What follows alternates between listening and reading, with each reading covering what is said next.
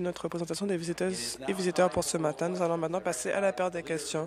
La parole est à la chef de l'opposition officielle.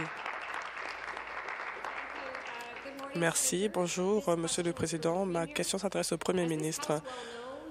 Comme la Chambre le sait, le gouvernement fait l'objet d'une enquête criminelle de la GRC quant aux décisions prises avec, euh, en rapport plutôt au scandale de la ceinture de verdure.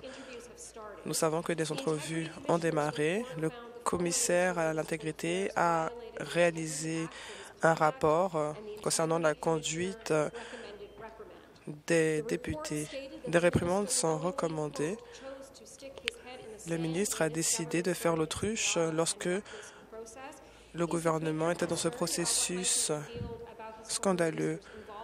Est-ce que le Premier ministre va révéler quel ministre et personne de son caucus était présent et ont fait, ont fait l'objet plutôt de ce scandale? Le leader parlementaire du gouvernement. Le gouvernement l'a dit à maintes reprises, nous avons pris des décisions qui n'ont pas été soutenues par les personnes de la province. C'est pour cela que nous avons un projet de loi visant à restituer cette terre qui été initialement retirée de la ceinture de verdure.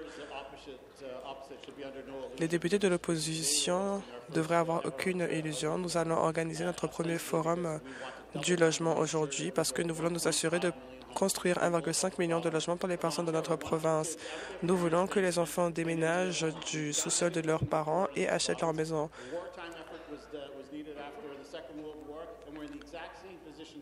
Nous avons vu euh, la situation au lendemain de la Deuxième Guerre mondiale. Nous avons eu besoin de construire des logements. Nous allons retirer tous les obstacles de notre voie et accomplir notre travail. Complémentaire. Merci, Monsieur le Président. J'aimerais dire une chose. On ne parle pas que de l'ancien gouvernement du logement. Le ministre des Services au public et aux consommateurs a dû déposer sa, démission, plutôt après avoir menti sous au commissaire à l'intégrité. Intervention du président. Ce sont des commentaires non parlementaires. Vous devrez retirer vos propos. Je les retire. Lorsqu'il a parlé au commissaire à l'intégrité concernant les affaires du gouvernement et euh, les ententes avec la ceinture de verdure, le commissaire a conclu qu'il fallait également étudier la plainte euh, des néo-démocrates. Est-ce que le Premier ministre est inquiété lorsqu'il s'agit des documents et des entrevues qui pourraient être euh, révélés et qui pourraient impliquer un autre ministre impliqué dans ce scandale? Le ministre du Logement pour la réponse. Non, Monsieur le Président, nous avons dit que nous allons aider la GRC dans ses entrevues. Qu'il n'y a aucune confusion, nous avons un objectif, à savoir construire 1,5 million de maisons dans notre province. Nous voulons également nous assurer à ce que le plus d'Ontariens possible puissent acheter leur première propriété. Nous en voyons déjà les résultats. Le ministre Clark, lorsqu'il était présent, a proposé un plan d'action cela nous a permis d'avoir euh, le plus de mises en chantier depuis 50 ans, 50 15 années plutôt. Le gouvernement actuel veut construire pour les personnes de notre province. Nous allons investir, que ce soit dans des infrastructures souterraines, des métros, etc. Nous allons construire plus de logements. L'opposition s'oppose à ce genre de mesures, mais laissez-moi être clair. Nous allons réitérer notre propos. Nous allons bâtir 1,5 million de logements comme les personnes méritent de l'avoir dans cette province. Complémentaire final. Ils ont gâché euh, des années avec euh, les scandales dans lesquels ils ont été impliqués. Ils ont perdu trois ministres et plusieurs membres du personnel. Ils, sont, ils baignent dans tant de scandales. Le gouvernement a nommé ce nouveau ministre du Logement mais nous savons que toutes les routes mènent au Premier ministre. Nous avons des spéculateurs euh, qui ont baigné dans des scandales euh, aux, enveloppes brunes. Mais le gouvernement dit ne pas se rappeler de certaines rencontres. Je m'adresse encore une fois au Premier ministre. Est-ce que les députés de son caucus euh, sont inquiets des révélations qui pourrait y avoir avec l'enquête de la GRC, est-ce que le Premier ministre sera impliqué? Que les députés regagnent leur siège? le ministre des Affaires municipales et du Logement pour la réponse. La chef de l'opposition devrait elle-même être préoccupée. En effet, toutes les routes mènent à ce gouvernement parce que nous sommes le, seul gouvernement qui investissons dans nos routes. Nous investissons pour améliorer nos infrastructures. Nous avons investi des milliards de dollars pour construire des métros. Nous l'avons fait parce que lorsque les néo-démocrates étaient au, pouvoir avec les libéraux, ils ne savaient pas sur quoi décider à investir pour construire. Nous devons construire plus de routes parce que nous avons 28 milliards euh, de dollars investis dans nos, dans nos euh, automobiles. Nous avons réalisé des investissements records. 700 000 personnes ont un emploi et ils n'auraient pas pu en avoir un avec l'ancien gouvernement libéral. Nous accomplissons notre travail. Rappel au règlement plutôt à l'ordre, la chef de l'opposition pour la prochaine question. Toutes les enquêtes criminelles de la GRC mènent à ce gouvernement, Monsieur le Premier ministre. Monsieur le Président, il était révélé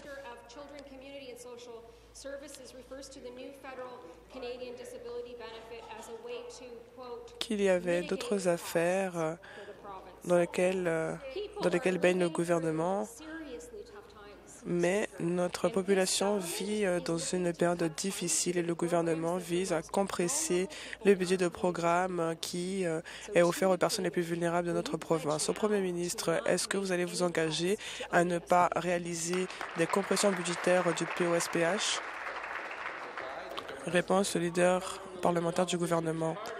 La chef de l'opposition est ironique. Ils ont voté contre l'augmentation des niveaux du POSPH que nous avons proposé. Nous avons augmenté les taux du POSPH et nous avons été le premier gouvernement à suivre le rythme de l'inflation.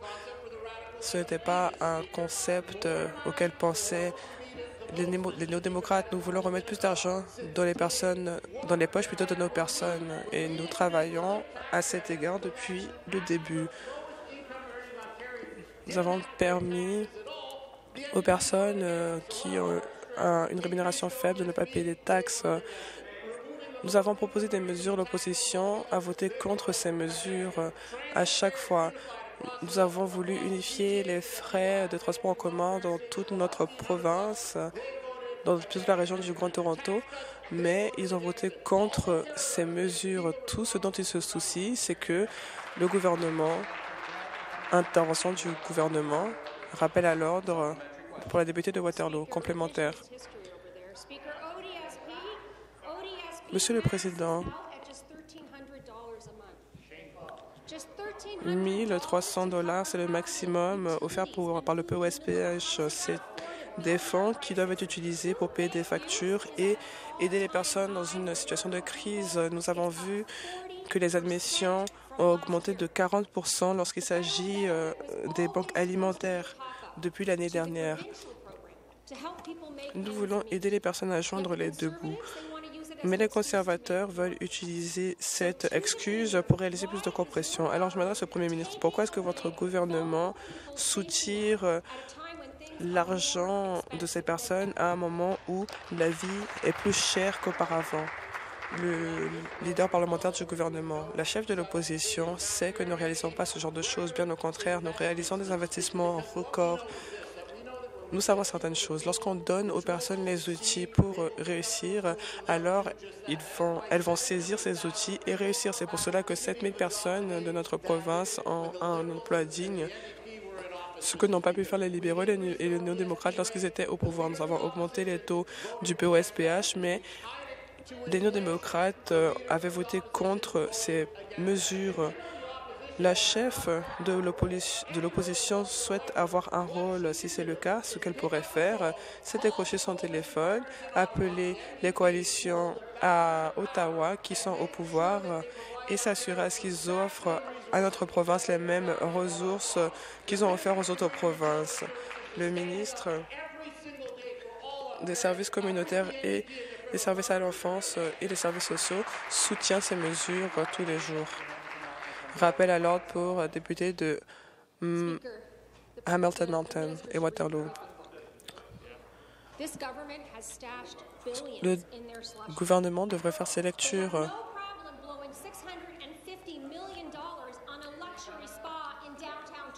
Les conservateurs n'ont pas de problème à dilapider 650 millions de dollars pour la construction d'un spa de luxe, mais ils tournent encore le dos aux personnes qui déposent du POSPH.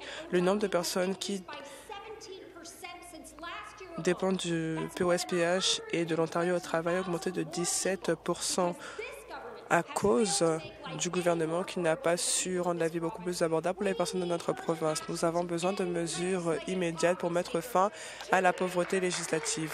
Je demande au Premier ministre est-ce qu'il va s'engager à doubler les, euh, taux plutôt du POSPH aujourd'hui, que les députés regagnent leur siège, le leader parlementaire du gouvernement.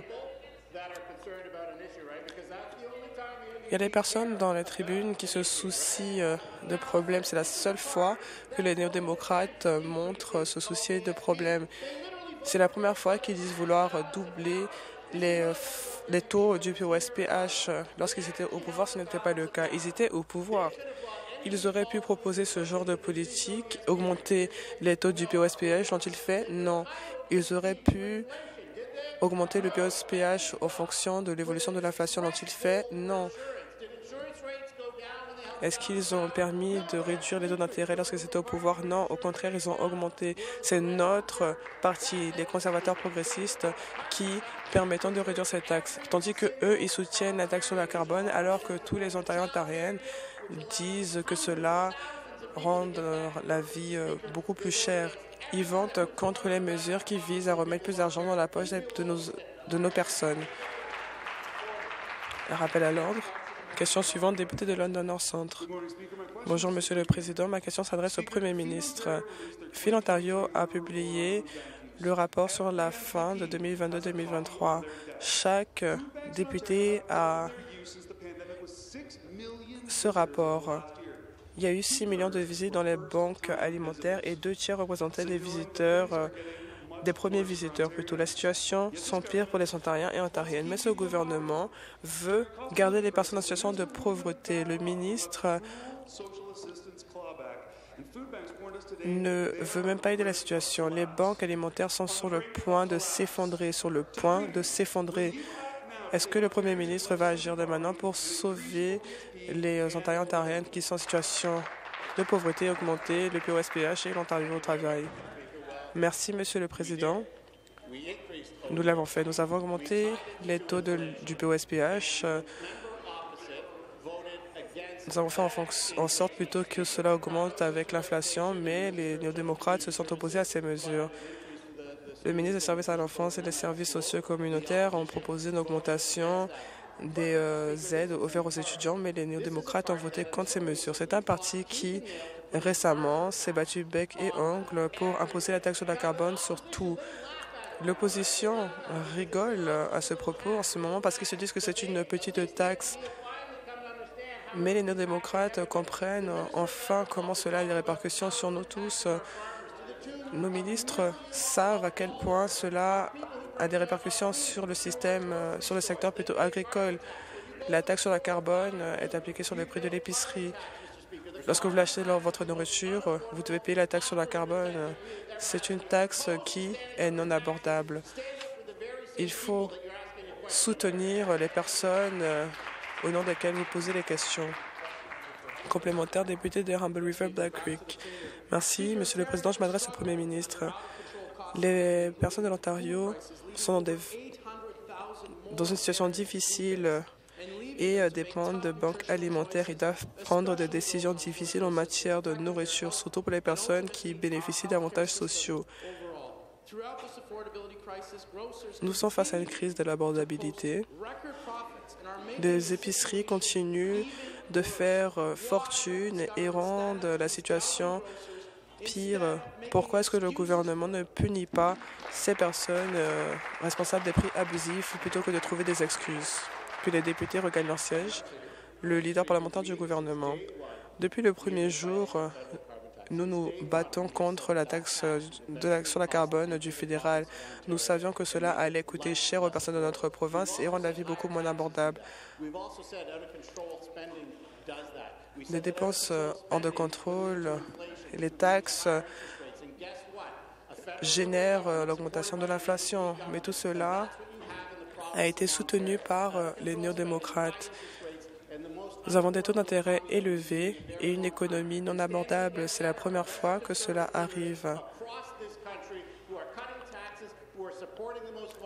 Nous devons soutenir les personnes les plus vulnérables tous les jours. Si la députée d'en face veut avoir des répercussions réelles, je lui propose d'appeler les partenaires à Ottawa dès aujourd'hui et proposer une motion de non-confiance afin qu'il puisse prouver qu'il se soucie réellement des personnes de notre province.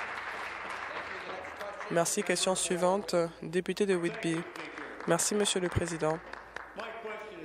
Ma question s'adresse euh, au ministre du Développement économique, de la création d'emplois et du commerce. Depuis notre arrivée au pouvoir, l'Ontario a vu des niveaux records d'investissement dans notre économie. Plusieurs entreprises du monde qui n'avaient pas d'empreinte au Canada avant 2018 ont décidé de venir s'installer en Ontario. Sous l'ancien gouvernement, le, le contraire plutôt arrivait. Ils étaient soutenus par les libéraux et ont fait fuir euh, les emplois de notre province. Aujourd'hui, ils veulent qu'on s'assoie qu'on ne fasse rien. C'est inacceptable. Nous refusons de retourner au jour des libéraux où les emplois fuyaient notre province à cause des taxes élevées et de formalités administratives. Est-ce que le ministre pourrait nous expliquer notre approche commerciale et comment cela a permis d'attirer des investissements records en Ontario? Le ministre du Développement économique, de la création d'emplois et du commerce. Merci, Monsieur le Président. Voici la différence. Le gouvernement fédéral augmente les taxes avec la taxe sur la carbone. De notre côté, nous réduisons les taxes. En effet, nous avons réduit le coût d'affaires de 8 milliards de dollars chaque année. Cela a permis de faire de l'Ontario la province la plus concurrentielle cette année, selon euh, ce que disent les magazines. Nous sommes la province la plus concurrentielle. Toronto est un chef de file en Amérique nord lorsqu'il s'agit de la création d'emplois dans le secteur technologie. Nous menons la file en Ontario lorsqu'il s'agit des investissements directs. Près de 9 milliards de dollars au début de cette année ont été attirés en Amérique du Nord. Cela représente plus de 50 des investissements internationaux reçus au Canada. Nous venons que le gouvernement fédéral entende clairement que la réduction des taxes permet de créer des emplois. Monsieur le Président. De retour au ministre. Avec une grande concurrence mondiale, c'est bien de savoir que l'Ontario est en mesure d'obtenir des milliards de dollars en création d'emplois. Nous avons été en mesure de mettre en place des investissements records parce que nous nous assurons que les frais aux entreprises et aux travailleurs demeurent bas. Mais les députés de l'opposition et les candidats libéraux parlent positivement de cette taxe sur le carbone. Pourtant, c'est une taxe qui affecte les entreprises et la population, ce qui affecte la croissance. 300 000 emplois ont quitté la province lorsque les libéraux étaient au pouvoir. Devons-nous le rappeler? Est-ce que le ministre peut expliquer notre approche à la création d'emplois? Afin d'aider à changer le cours de l'économie ontarienne? Le ministre de la création, du développement économique, de la création d'emplois et du commerce. Il y a quelques minutes, vous avez entendu le ministre des Affaires municipales et du Logement dire que nous avons créé 700 000 nouveaux emplois au cours des sept dernières années, des cinq dernières années. 70 000 travailleurs aideront 1900 entreprises technologiques de la province. Plus de 120 000 emplois directs ont été créés et des centaines de milliers d'emplois de, indirects ont été créés dans notre secteur automobile à l'échelle de la province. Tout ça, Monsieur le Président, On ne l'a pas fait en augmentant les taxes et impôts, mais en les diminuant et diminuant le coût d'affaires de 8 milliards de dollars par année. Ce sont des chiffres records en emploi que nous avons et que nous avons obtenus en s'assurant que les impôts demeureraient bas. Député de Toronto-Danforth, nouvelle question. Merci au premier ministre. Au cours des vagues de chaleur de l'été dernier, nous avons vu des inondations, des feux de forêt et votre gouvernement n'a pratiquement rien fait pour préparer l'Ontario aux conséquences du changement climatique. En fait, vous avez supprimé un rapport qui permettrait aux municipalités de gérer cette crise. Est-ce que le ministre s'engage, le premier ministre s'engage à publier tous ces rapports ainsi que celui du comité consultatif sur le climat. Le député de Renfrew Nipissing Pembroke pour répondre. Merci. J'aimerais répondre à la question du député. Vous savez, nous sommes fiers de notre bilan en matière de changement climatique dans la province. Nous sommes à la, tête du pays. 86 des, émis, des réductions d'émissions de gaz à effet de serre qui se sont produites au Canada se sont produites en Ontario. Donc, non seulement est-ce que nous diminuons les gaz à effet de serre, mais nous améliorons la création d'emplois et l'économie de la province. Nous avons créé 700 000 nouveaux emplois et nous avons diminué les émissions de en même temps.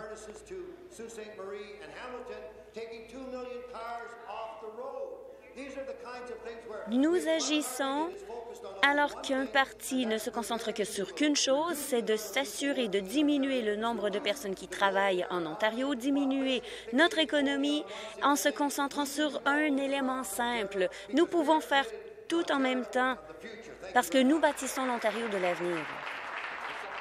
Complémentaire. Réponse extraordinaire. C'est le gouvernement qui augmente les émissions de gaz à effet de serre de façon drastique et qui cause des problèmes partout. Le directeur de la responsabilité financière la semaine dernière a publié un autre rapport qui montre que l'Ontario paiera une fortune en infrastructures publiques en raison du changement climatique. Ça affecte nos routes, ça changera l'accès à l'eau des municipalités. Le coût sera incroyablement élevé pour la province. Et pourtant, vous refusez de publier le rapport détaillé qui nous dit ce que nous pourrions faire pour protéger la population. Quand publierez-vous ce rapport afin que les collectivités puissent s'agir pour se protéger du désastre naturel que vous êtes en train de créer. Député de Renfrew-Nipissing-Pembroke. Nous sommes responsables pour bâtir la province et nous progressons grandement. Nous sommes en bonne voie d'atteindre notre cible de 2030 pour diminuer les gaz à effet de serre. Nous bâtissons l'infrastructure nécessaire, l'infrastructure qui pourra survivre aux effets du changement climatique. C'est ce que l'on s'engage à faire. En même temps, nous nous assurons que les travailleurs de l'Ontario aient toujours un emploi. Je demande aux partis de l'autre côté de commencer à élargir leur vision un peu, parce que ce, sur quoi il faut agir actuellement, c'est la taxe sur le carbone du fédéral que vous avez appuyé. Le plus grand ennemi de l'Ontario dans la lutte au changement climatique et à la création d'emplois, c'est la taxe sur le carbone. Le président rappelle aux députés de faire leurs commentaires par la présidence. Député de Brantford-Brun, nouvelle question. Merci.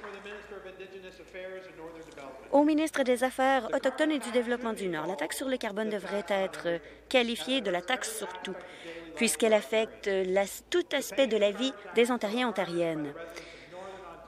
Les effets sont encore plus sévères en Ontario et pour les communautés autochtones. Ce sont eux qui vivent les effets les plus fort de cette taxe. Le gouvernement libéral fédéral a augmenté la taxe sur l'essence cinq fois et planifie sept augmentations de plus d'ici 2030. Ces augmentations contribuent à l'augmentation générale du coût des marchandises partout dans la province, mais tout particulièrement dans le Nord. Est-ce que le ministre peut expliquer les effets négatifs de la taxe sur le carbone sur le nord de l'Ontario et sur les communautés autochtones? Merci. Le ministre du Développement du Nord et ministre des Affaires autochtones. D'un océan à l'autre, Les Canadiens sont clairs. Ils veulent voir disparaître cette taxe. Laissez-moi souligner que à Hertz, l'essence est à 1,59 à Thunder Bay, 1,49 à Kirkland Lake, 1,54 Lime River, 1,53 C'est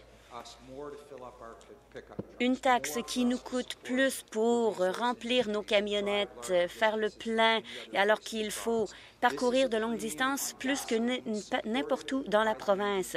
C'est une taxe qui a été appuyée par les néo-démocrates. Alors, c'est une prime néo-démocrate, mais nous la qualifions de taxe sur le carbone. Et cette taxe doit être éliminée. Complémentaire? Merci, merci, Monsieur le ministre, de votre réponse. Au contraire d'autres régions dans notre, province, le Nord fait face à beaucoup de difficultés euh, et de difficultés liées à la qualité de la vie en raison de la taxe sur le carburant. Cette taxe n'est ni juste ni la bonne chose appropriée à faire. Le gouvernement fédéral ne comprend pas l'inabordabilité de la vie dans le nord de l'Ontario.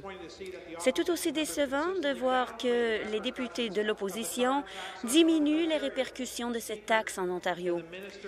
Est-ce que le ministre peut élaborer sur la façon dont la taxe sur le carbone a un effet négatif sur nos résidents, nos collectivités et sur nos entreprises partout dans le Nord?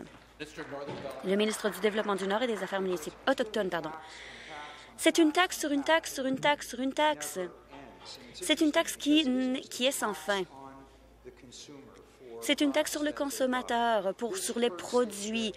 Cette taxe affecte le coût des services et programmes qui sont essentiels pour nous dans le nord de l'Ontario la semaine dernière. J'ai appris que la différence du coût de la taxe sur le carbone dans notre conseil qui fait fonctionner les, les ambulances nous coûte en fait une nouvelle ambulance à chaque année. Pour le conseil scolaire, ça représente une compression des programmes aux, élèves alors qu'ils vivent à des centaines de kilomètres de leur école. Plus de football pour ces, étudiants, ces élèves, Monsieur le Président, à moins qu'ils veulent y payer eux-mêmes. Cette taxe doit être éliminée. Les néo-démocrates doivent cesser de l'appuyer. Député de Waterloo, revenez à l'ordre. Prochaine question. Député de Sainte-Catherine. Merci, Monsieur le Président.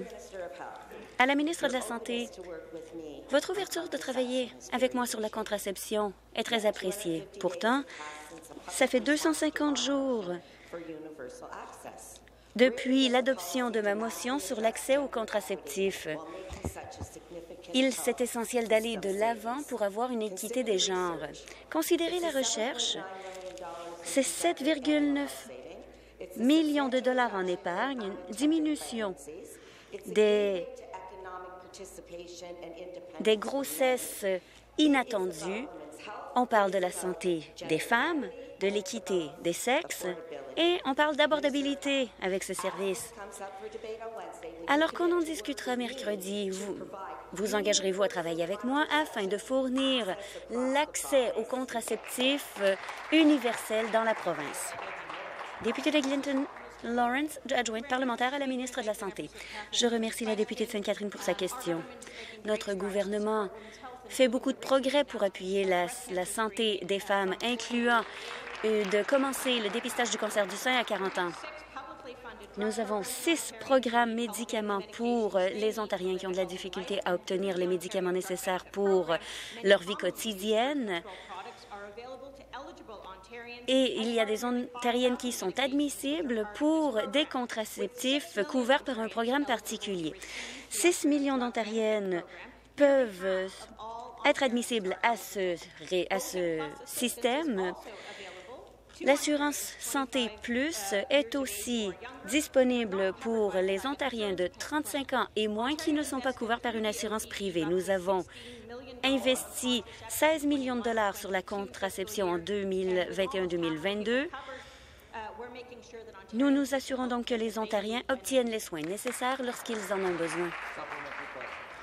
Complémentaire. Merci. Cette réponse est profondément décevante, étant donné qu'on parle de l'équité des sexes pour les femmes ici. 6 millions d'Ontariennes ont accès à des contraceptifs financés au public. La grande majorité de ces 6 millions d'Ontariennes, de ces Ontariens plutôt, sont des hommes, des enfants et des aînés. Je comprends que c'est votre personnel qui vous fournit vos chiffres. Alors, laissez-moi vous dire qu'il n'y a qu'une fraction des 6 millions d'Ontariens que vous avez mentionnés qui sont des femmes. Ce n'est pas le temps de jouer sur les mots. Monsieur le Président, à deux jours du débat, il faut être clair.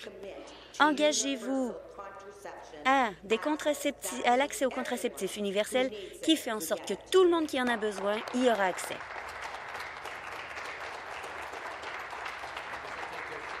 Que le député se rassoie.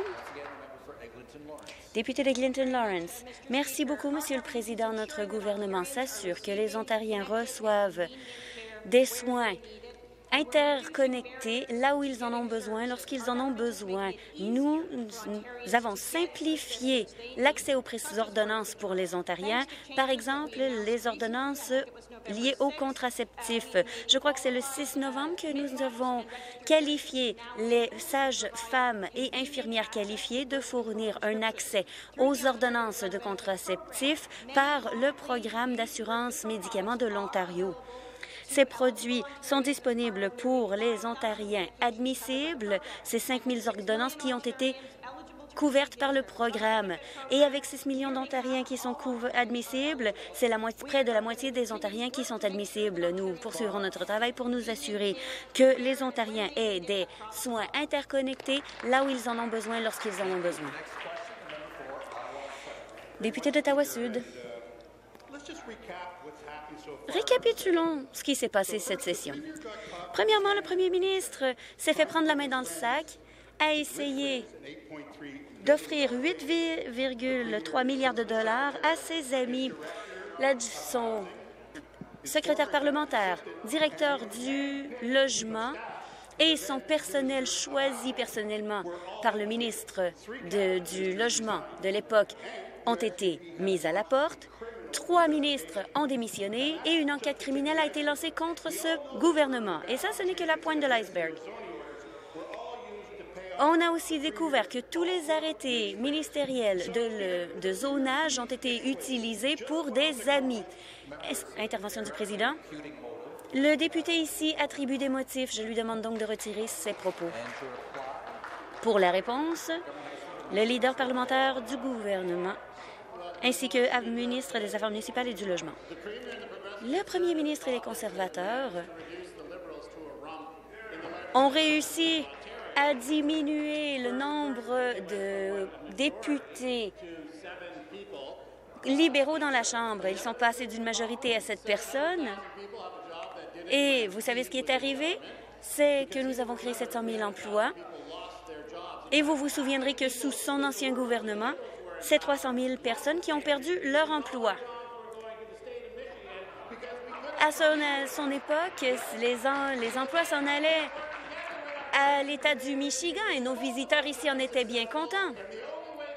La seule façon qu'on peut réussir, c'est de ne jamais réélire le gouvernement libéral qui font quitter les emplois et qui aident nos bons amis au Michigan. Complémentaire. Ce n'est pas étonnant que le ministre McNaughton ait décidé de quitter et tenter sa chance dans les casinos de Woodbine. Le gouvernement doit maintenant protéger la ceinture de verdure de lui-même. Il y a eu les arrêtés ministériels de logement de zonage qui sont maintenant mis sur la glace. Tout ça, ça s'est passé en un an. Et voilà le gros lot. Au moment où les gens essaient de payer leurs factures, leur loyer, essaient simplement de s'occuper de leur famille, que fait le premier ministre? Il crée une banque. Incroyable. Et c'en est une qui, je le sais, signifiera plus de bons emplois bien rémunérés pour ses amis. Quand est-ce que le premier ministre fera quelque chose pour des gens autres que ses bons amis bien connectés? Le ministre des Affaires municipales et du Logement. Je suis d'accord avec le ministre des, des Soins de longue durée. Heureusement que ce député ne pose qu'une question à tous les deux jours. On croirait que les libéraux apprendraient la leçon. Ils ont maintenant cette députée dans l'Assemblée. Lorsqu'ils étaient au pouvoir, ils n'ont pas bâti de foyers de soins de longue durée, pas d'hôpitaux, n'ont pas bâti de métro, ils ont décimé notre système d'éducation, nos collèges et universités ont été réduits à néant. Et ils ont perdu des milliers d'emplois parce que les libéraux ont qualifié le Nord de terrain perdu. Et l'Ontario, qui était le centre de la fabrication au Canada, que l'on devrait faire une transition vers une économie du service. Les gens devaient choisir entre se chauffer et manger sous les libéraux. Et maintenant, ils nous racontent cette blague sur qu'est-ce que vous avez fait pour nous dernièrement. Nous avons fait croître l'économie et créer des emplois. Voilà ce que nous avons fait, Monsieur le Président. Prochaine question. Député de Chatham-Kent-Leamington. Question au ministre de l'Énergie. Les gens de l'énergie savent très bien que la taxe sur le carbone empire la vie, leur vie. L'hiver approche. La population ontarienne s'inquiète des conséquences de cette taxe sur leurs factures de chauffage. Le premier ministre a dit que la vie est plus dispendieuse pour la population en raison de cette taxe. La taxe sur le carbone affecte les, les, travailleurs ontariens. Elle augmente le coût de l'énergie, affecte le coût de tout produit acheté. Est-ce que le ministre peut expliquer la façon dont la taxe sur le carbone affecte de façon négative la population ontarienne? Adjointe parlementaire et députée de Kitchener-Sud-Espeller. Je sais que c'est quelque chose qui est très important la taxe sur le carbone est un exemple de manque de sens commun. Cette idéologie, la province est construite, bâtie par ses travailleurs. Avec les fêtes qui approchent, il y aura de plus en plus de coûts. Il y a des déplacements, les soupers en famille. La taxe sur le carbone n'affecte pas seulement le chauffage. Ces coûts se retrouvent dans tout ce que nous payons et en bout de ligne, si le gouvernement fédéral avait vraiment à cœur les Ontariens et Ontariennes et les Canadiens, il commencerait par éliminer cette taxe. C'est simple. Complémentaire. Merci. Merci à l'adjointe parlementaire pour sa réponse. Diminuer le coût de la vie, c'est exactement ce qu'essaie de faire notre gouvernement. C'est la raison pour laquelle nous remettons en question cette taxe, et ce, jusque devant les tribunaux. La pire, le pire sur cette taxe, c'est qu'elle empire la vie de tout un chacun et rend la vie plus dispendieuse. Les partis de l'opposition veulent tripler cette taxe d'ici 2030. Cette taxe affecte les entreprises, l'économie et les travailleurs. Est-ce que l'adjointe parlementaire peut expliquer les conséquences des futures augmentations de cette taxe sur la population ontarienne? Encore une fois, la députée de kitchener sud Merci. Je pense à mes jours devant les tribunaux et mon objection préférée était question demandée et répondue. Et je dirais que c'est ce qui se produit ici. Mais pourquoi? Parce que la taxe sur le carbone est toujours là. Et euh, donc, nous continuerons de poser ces questions jusqu'à ce que cette taxe soit éliminée, parce qu'elle augmente le coût de l'alimentation. Mais non, pas seulement. Les effets de cette taxe sont insidieux. Nous vous envoyons des exemples constamment. Ça augmente le coût de l'essence, le coût aux, agriculteurs qui font pousser notre nourriture, des camionneurs. Quelqu'un, en bout de ligne, doit payer la facture et actuellement, c'est le euh, contribuable qui paie. Donc, le seul élément songé est de se débarrasser de cette taxe. Au premier ministre, un commettant de ma circonscription vit à Kapuskasing depuis les cinq dernières décennies. Il y a 20 ans, son médecin de famille a quitté et a fermé son cabinet Elle s'est donc retrouvée sans fournisseur de soins primaires. Pendant ces 20 années, chaque fois qu'une nouvelle clinique a ouvert, elle a fait une demande, mais on lui disait qu'il y avait déjà le lot de patients nécessaire. Maintenant, elle, est plus âgée, elle a plus de problèmes de santé, elle n'a pas accès à des soins primaires? Monsieur le Premier ministre, que fera votre gouvernement maintenant pour mettre fin au manque de médecins dans le Nord? La députée de Glinton Lawrence.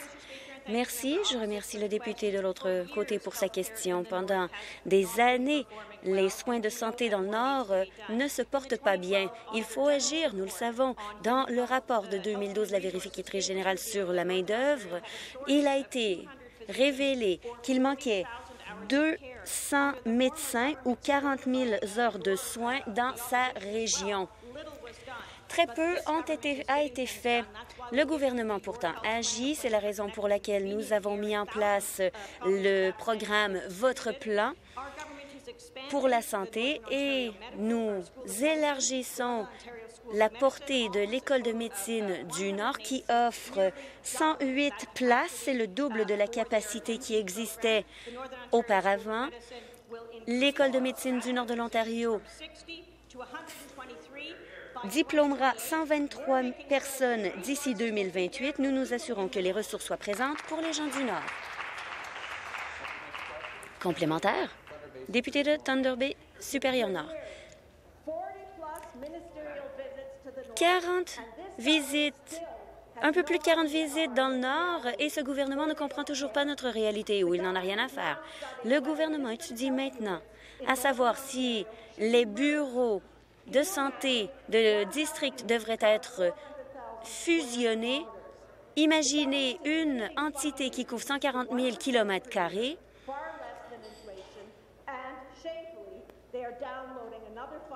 et le gouvernement transfère 5% des coûts sur les municipalités qui ont déjà de la difficulté. Pourquoi est-ce que ce gouvernement essaie de diminuer les services en matière de soins de santé dans les communautés du Nord? La députée de Clinton Lawrence. Je remercie la députée de sa question. Des années de négligence de gouvernements précédents, appuyés par les néo-démocrates, nous ont placés dans cette situation. Mais nous essayons de, de régler les problèmes des gouvernement précédent et je n'en reviens pas que la députée se plaigne du fait que les ministres se rendent dans le Nord. Ça devrait être une bonne chose. On voit les résultats dans notre plan. On a doublé la capacité de l'École de médecine du Nord de l'Ontario qui fait en sorte que les gens du Nord demeurent au Nord lorsqu'ils veulent devenir des professionnels de la santé. Cette école attire des professionnels de l'avenir qui profiteront de la beauté de la vie dans le Nord et nous poursuivrons notre travail avec tous nos partenaires, incluant Santé Ontario, la Société des hôpitaux du Nord et les syndicats locaux pour répondre aux défis du Nord de l'Ontario. Et heureusement que notre ministre s'y rend constamment afin que l'on connaisse les défis sur le terrain et que l'on puisse améliorer la situation. Nous poursuivrons notre travail pour le Nord. Prochaine question, député de Thornhill. Merci, Monsieur le Président. Question au, euh, ministre des Transports. Depuis que la taxe sur le carbone, la population ontarienne paie plus pour tout.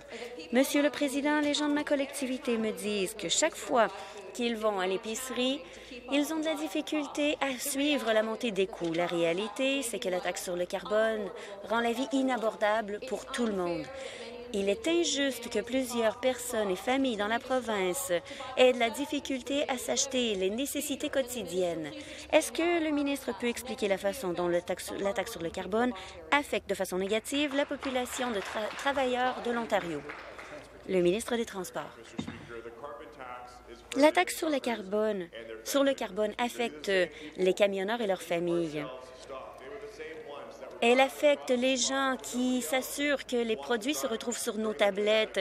Ce sont aussi ces, gens qui nous ont sauvés pendant la pandémie. J'ai parlé à plusieurs camionneurs et ils m'ont dit qu'il y a environ 17,5 sous d'effet sur les camionneurs en raison de cette taxe. Cela équivaut à de entre 15 et 20 000 dollars par année. C'est de l'argent que les camionneurs pourraient dépenser pour leur famille, pour faire euh, s'assurer que leurs enfants jouent au hockey.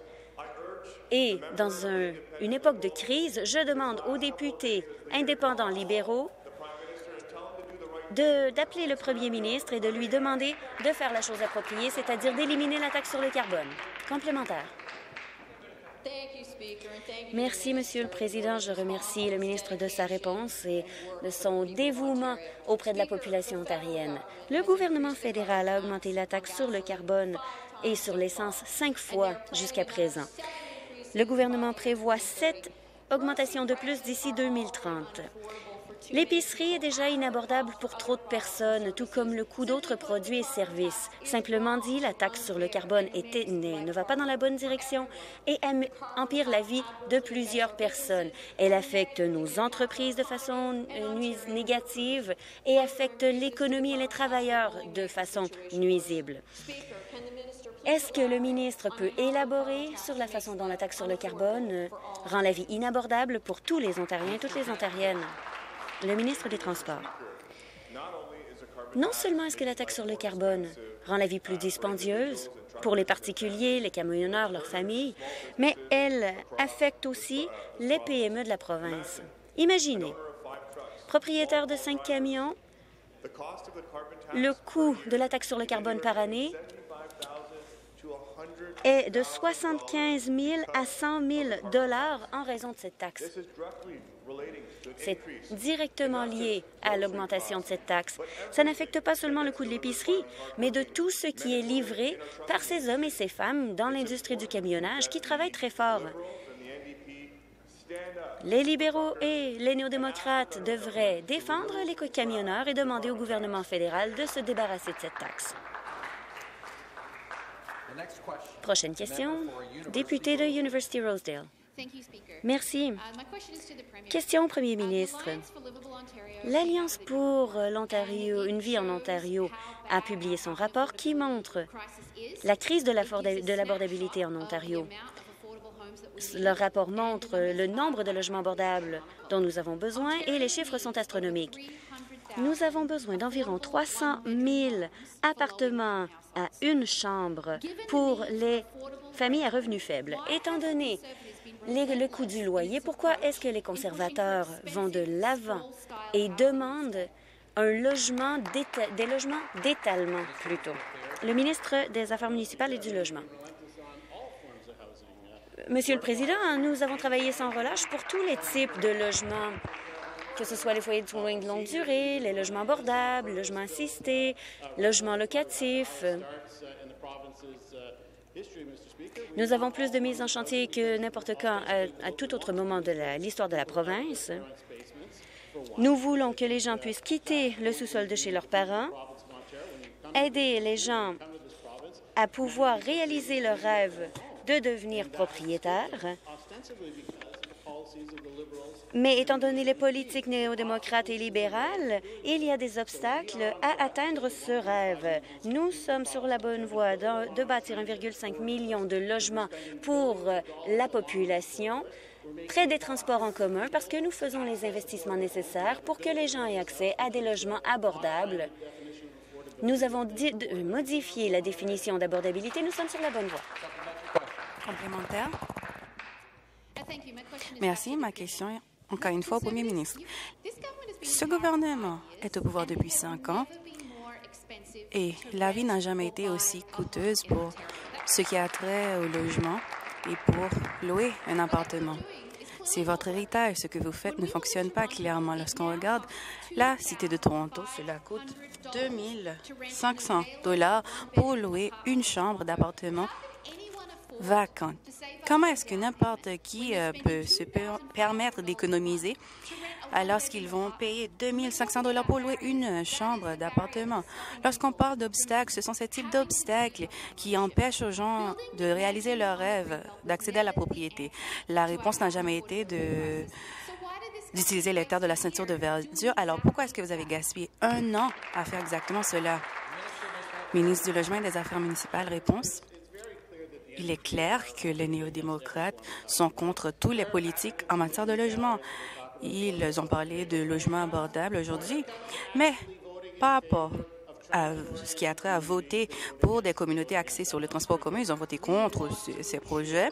Nous, la députée de Waterloo parle de taxe sur le carbone. Plus tôt, euh, elle, a dit que c'était euh, une taxe qui va créer plus d'emplois. C'est ce que quoi les néo-démocrates. Si on impose plus d'impôts, cela va créer plus euh, d'emplois. Vous savez pourquoi nous faisons face à cette crise de logement? Parce que les libéraux et les néo-démocrates à Ottawa ont passé tellement de, gaspillé tellement de temps et alors que nous faisons face à une crise, à une inflation galopante, il y a des taux d'intérêt les plus élevés que jamais cela était le cas auparavant. Alors, si vous voulez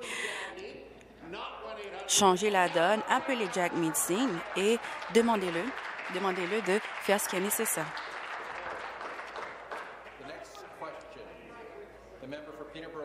Prochaine question, député de Peterborough Court.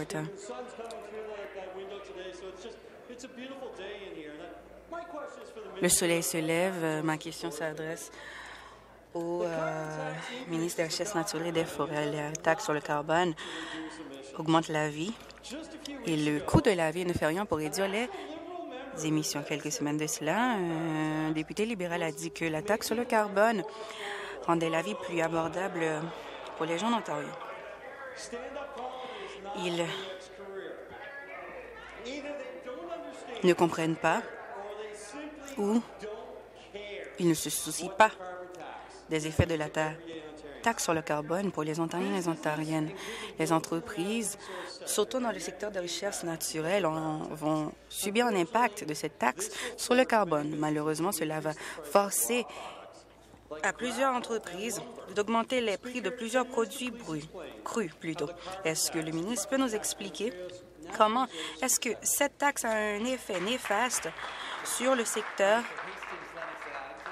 en Ontario? Adjoint parlementaire, réponse. Merci pour la question. Après deux élections d'échecs, les libéraux continuent leurs efforts à doubler cette taxe qui est intolérable et non appuyable. Ils continuent à dire non, à réduire le coût de la vie. Ils disent non pour appuyer les entreprises du nord de l'Ontario. Ils disent non pour, la construire, euh, pour construire des, du logement et des infrastructures importantes. Ils disent non à la réduction d'émissions en créant des emplois. Même le député de Kingston et les Mille Îles a dit non à des nucléaires, des, des pouvoirs nucléaires propres. Donc, ils ont éliminé plusieurs emplois dans le secteur de la fabrication, fermé plusieurs écoles et ajouter moins de 700 lits alors que la province en avait besoin de plus de 1000. Il est assez clair que les néo-démocrates et les libéraux ont un seul plan, c'est d'imposer des taxes complémentaires. Merci euh, à l'adjoint parlementaire pour cette réponse. Le budget euh, fédéral, selon ce budget, il a été déclaré que la plupart des ménages vont devoir faire face à des pertes et des manques à gagner.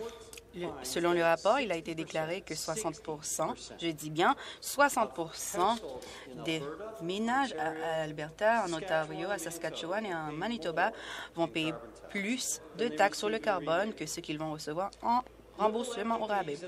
Les libéraux et les néo-démocrates fédéraux ne comprennent pas la réalité et l'impact de cette taxe sur le carbone sur la vie de tous et tous en Ontario.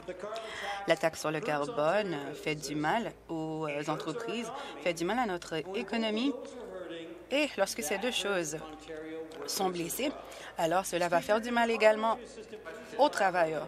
Est-ce que l'adjoint parlementaire peut nous dire davantage comment est-ce que ces taxes et des augmentations d'autres impôts vont avoir un effet néfaste sur les richesses naturelles de l'Ontario? Réponse. Merci pour la question. Le député a raison. Il n'est pas surprenant. Les libéraux et, leurs mathématiques n'ont aucun sens. Le gouvernement, le fédéral, selon leurs représentants, il a été dit que les Ontariens et les Ontariennes vont payer davantage deux coûts à cause de cette taxe sur le carbone. Ils ont dit que d'ici 2032, des pertes pour la famille moyenne en Ontario va représenter 2 000 dollars par ménage. C'est une honte que les partis de l'opposition continuent à prioriser la politique au lieu de la vie des Ontariens et des Ontariennes des entreprises. Nous allons réduire le prix des carburants, nous allons appuyer l'innovation pour créer plus d'emplois et réduire les émissions. Notre gouvernement crée plus d'emplois avec plus de salaires bien rémunérés. Nous allons offrir un allègement aux Ontariens et aux Ontariennes et c'est notre gouvernement qui appuie et continue à construire notre province. Prochaine question, député de Ottawa-Ouest, Nepean. Merci, Monsieur le Président. Nos enfants dans nos écoles font face à plusieurs défis. Plus de la moitié des écoliers sont déprimés par rapport à leur avenir. Cependant, une école sur dix a des services de santé mentale disponibles. Des demandes en santé mentale continuent à augmenter, mais le gouvernement refuse d'appuyer ces services. Des manques en matière de santé mentale contribuent à une épidémie de violence dans nos écoles. Alors, pourquoi est-ce que le premier ministre a créé des compressions de 1 200 par étudiant au lieu d'offrir cette aide et ce soutien dont les écoliers ont besoin? Ministre de l'Éducation, réponse. La meilleure manière d'améliorer la vie des étudiants, c'est de leur permettre de rester dans leurs écoles. C'est pour cela que nous sommes fiers de notre euh, accord, notre entente, et on, dirait que l'opposition a été silencieuse par rapport à cette annonce pour qui va être aux avantages des étudiants et autres écoles. Je veux souligner également que nous avons augmenté les financements à plus de 550% comparativement au gouvernement de la première ministre Wynne. Et pour euh, nos conseillers ici, en Ontario, il faut souligner que les néo-démocrates ont volé, voté contre chaque mesure budgétaire. Cette année, nous, avons augmenté euh, nos financements grâce aux rétroactions de nos conseillers afin de s'assurer que les écoliers et les étudiants puissent accéder à des programmes durant l'été. Nous allons être présents pour appuyer les enfants en Ontario. Complémentaire. Le ministre peut continuer à parler, mais les budgets démontrent la réalité. On ne peut pas apprendre si on ne peut pas se rendre dans, les écoles à cause des changements dans le formule de financement. Les enfants ne peuvent même pas se rendre sur les milieux d'apprentissage. Selon euh, le rapport, cela va se détériorer d'ici l'année prochaine. Les coûts augmentent, mais le gouvernement ne prend pas au sérieux ces défis. Est-ce que le premier ministre va s'engager aujourd'hui à revitaliser ces promesses qui ont été brisées par rapport aux formules de financement et offrir ce qui est nécessaire afin que tous les étudiants, tous les enfants peuvent se rendre aux écoles chaque jour? Ministre de l'Éducation. Financement augmenté à 111 millions de dollars cette année comparativement à l'année dernière. Pour les conducteurs d'autobus, nous avons augmenté leur salaire à plus de 23% et cela n'était jamais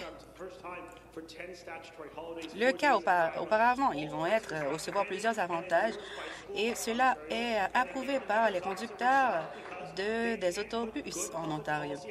Ils restent silencieux, l'opposition, parce qu'ils ne peuvent pas appuyer nos politiques et appuyer ces conducteurs qui travaillent de manière acharnée au jour le jour. Il y a tellement de choses à faire. Euh, c'est pour cela que nous sommes dévoués à préserver et conserver ces enfants dans les écoles. Veuillez rencontrer les conseils aujourd'hui et utiliser votre influence pour changer la donne et exhorter les fédéraux afin que les enfants puissent avoir accès à une stabilité pour les années à venir. Question, député de Burlington. Merci. Ma question s'adresse à la ministre associée déléguée aux petites entreprises, j'ai été choquée lorsque la députée de Canada Carton a dit que la taxe sur le carbone rendait la vie meilleure, mieux plutôt, pour euh, les, les, personnes en Ontario. Mes commettants étaient clairs comparativement à la à l'effet néfaste de cette taxe qui euh, rend la vie beaucoup plus coûteuse et crée plusieurs défis pour ces entreprises. Nous n'avons pas besoin de politiciens, politiciennes qui vont défendre euh, plus de formalités administratives et de taxes. C'est pour cela que nous devons nous concentrer à la réduction des coûts par toutes les manières possibles. Est-ce que euh, la ministre peut expliquer comment est-ce que cette taxe a un effet néfaste sur euh, les entreprises en Ontario? Réponse. Merci pour la question et pour son appui dans sa collectivité. Ça brise le cœur le fait d'entendre que la députée a dit cela, que la taxe améliore la vie des Ontariens et des Ontariennes. Est-ce que la réalité est différente? Pensez aux fermiers qui ont des entreprises, de petites entreprises. Il a été estimé que plus de 2 milliards de dollars de taxes sur le carbone va être déversé par ces fermiers et ces coûts ne peuvent pas être transférés aux consommateurs. Ce sont des milliards de dollars qui auraient pu être investis dans d'autres euh, petites euh, communautés, petites villes. Et l'opposition aime euh, déclarer qu'ils appuient ces petites entreprises, mais ce qu'ils ont fait, c'est que, en fait, ils, ils sont restés silencieux, alors que cette taxe continue à nuire à la population. Discours interrompu. Merci beaucoup. La période de questions prend fin. Nous avons un vote différé concernant la motion de deuxième lecture du projet de loi 90, loi modifiant la loi de 1995 sur les relations de travail en ce qui concerne les travailleurs suppliants. Convoquez les députés. Nous avons une euh, sonnerie de cinq minutes.